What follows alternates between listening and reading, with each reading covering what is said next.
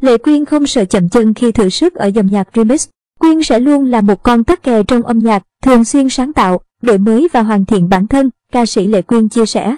Ca sĩ Lệ Quyên, ảnh, Miller Trần.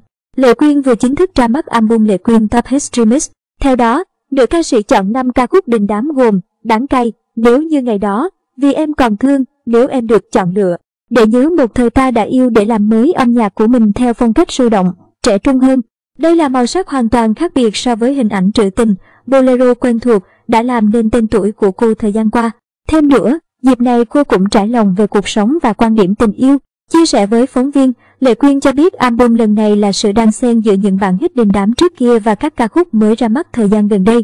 Sự kết hợp này mang đến cho khán giả những trải nghiệm âm nhạc mới nhưng vẫn giữ được phong cách trữ tình, quý phái đã làm nên tên tuổi của cô trong nhiều năm qua. Đây là dự án được tôi cân đối, đang xen vào nhiều kế hoạch khác của mình. Quyên sẽ luôn là một con tắc kè trong âm nhạc, thường xuyên sáng tạo, đổi mới và hoàn thiện bản thân. Tuy nhiên, Quyên cho rằng điều quan trọng là trong mỗi hình tượng, mình phải làm sao mang đến cho công chúng sản phẩm chỉnh chu, chất lượng nhất và đặc biệt bản thân cũng phải phù hợp với màu sắc và phong cách đó, nữ ca sĩ chia sẻ. Trước câu hỏi nhạc remix sôi động trên thị trường không phải là sân chơi quá mới, Lệ Quyên có áp lực khi biến cũ thành mới ở dòng nhạc này. Cô khẳng định, tôi luôn quan niệm của người mới ta. Có thể việc Jim nhạc đã quá quen thuộc với nhiều nghệ sĩ, tuy nhiên nếu mình cố gắng học hỏi, sáng tạo thì vẫn đem đến nhiều trải nghiệm mới mẻ cho bản thân và khiến khán giả không thấy nhàm chán. Thanh danh nhờ những ca khúc bolero và trữ tình, việc chuyển hướng đôi khi sẽ khiến khán giả thấy lạ lẫm. Tuy nhiên, Lệ Quyên lại cho rằng, trước khi bước lên đỉnh cao với dòng nhạc bolero, Lệ Quyên đã ra mắt nhiều album ballad trữ tình. Sau đó, tôi còn hát thêm các ca khúc tiền chiến, nhạc trịnh hay những bản phối acoustic. Tôi muốn khán giả của mình nghe được nhiều dòng nhạc khác nhau qua giọng hát Lệ Quyên. Vậy nên, dự án remix lần này dù mang phong cách sôi động, thịnh hành nhưng người nghe vẫn cảm nhận được chất riêng trong đó. Chẳng hạn như trên sân khấu, tôi vẫn là Lệ Quyên điệu đà trong bộ đầm dạ hội, có chăng sẽ còn nhiều điều thú vị khác khiến khán giả bất ngờ. Được biết, album lần này nữ ca sĩ phát hành dạng USB để khán giả có thể tiện thưởng thức. Sản phẩm được thiết kế nhỏ gọn và đẹp mắt. Sản phẩm cũng được phát hành trên kênh YouTube cá nhân của Lệ Quyên và các nền tảng nghe nhạc trực tuyến. Hài lòng với sự nghiệp và tình yêu hiện tại, nhân dịp tung dự án mới, Lệ Quyên chí đi ít thức tung năm bộ ảnh mới đánh dấu sự chuyển mình về hình ảnh trẻ trung, quyến rũ hơn.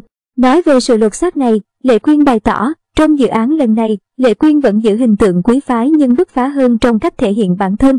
Bên cạnh đó, tôi muốn truyền cảm hứng để mọi người hiểu rằng, nếu biết yêu bản thân thì dù ở độ tuổi nào mình cũng sẽ có những vẻ đẹp riêng.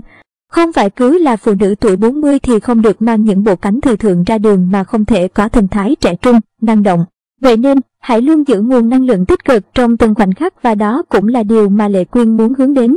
Bước sang tuổi 42, Lệ Quyên cho biết cô hài lòng với sự nghiệp và tình yêu hiện tại. Tôi cho rằng mỗi thời điểm chúng ta sẽ định nghĩa về sự viên mãn khác nhau.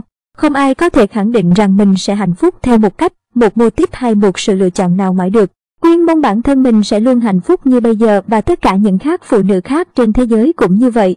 Song hành với sự nghiệp, Quyên tin rằng nếu biết trân trọng và sống trọn vẹn với tình yêu thì ai cũng xứng đáng có được sự hạnh phúc.